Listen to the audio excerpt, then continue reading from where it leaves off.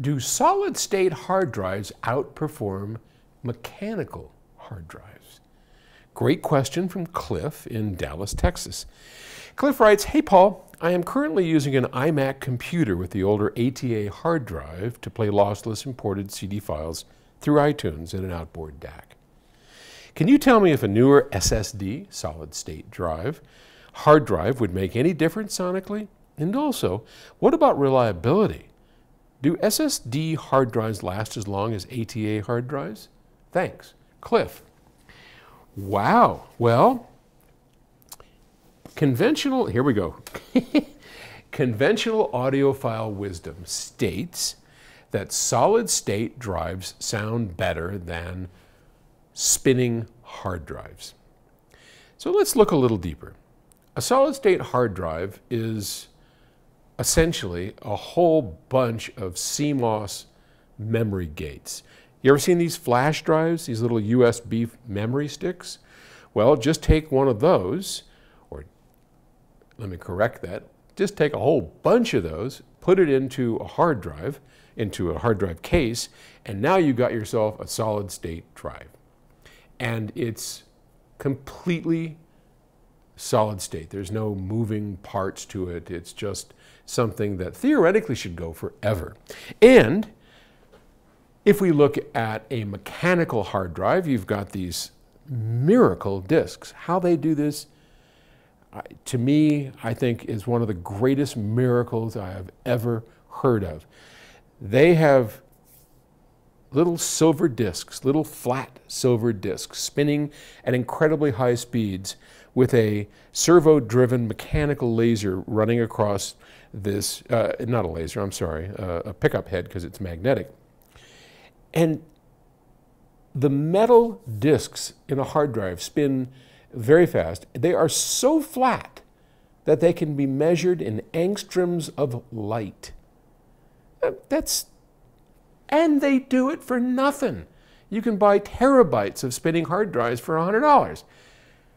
I, I mean, uh, that, that just boggles my mind how they do that. So here's, as I said, the conventional wisdom. Conventional wisdom suggests, yes, solid state drives sound better than mechanical spinning drives. And in general, they do, but I don't think because the data is any different. In fact, I know the data isn't any different whatsoever. But we do know that within systems, the power supplies the, the data buses and all are, are all interconnected on common grounds. And as a mechanical drive is, is, is grinding away and doing its stuff, it reacts very differently from, to a power supply than a solid state drive does. So my suspicion, my observations, I have no proof, okay? Don't need to get on me about prove it eh. my observations suggest that that may have something to do with greater jitter, with something coming out. I, you know, I can't actually be even jitter because when it comes out of the drive, there's no clock associated. So we can't, we can't claim um, timing errors because the clock comes later. So maybe it's upsetting the rest of the system. I don't know. But I can tell you this. If you take a Mac Mini, which is, I use a few Mac Minis here, and you compare the identical programs on two different identical Mac Minis. The one with a solid state drive typically sounds a little better than the one with a hard drive built in. Not by much, but a little. maybe something noticeable. Could I walk into a room as I can with many things and pick out the one? Probably not. So, placebo effect, I don't know, whatever. I don't pay a lot of attention to it. Two of my three Mac minis have mechanical hard drives, and the other one, the main one, has a solid state drive. They, they all work great. I wouldn't pay a lot of attention to it personally. Now, we're in the process of building a new server. It'll be the Octave server. And I know that as a company, we have to pay attention to what people's belief systems are. True or not, so ours will probably have a solid state drive just to make everybody happy. But As far as reliability goes, mechanical drives are extremely reliable.